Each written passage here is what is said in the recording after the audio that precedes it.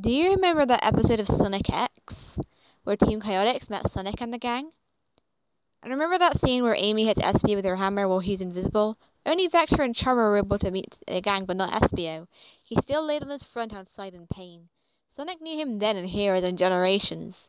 Here's how I used to think Sonic and his friends were.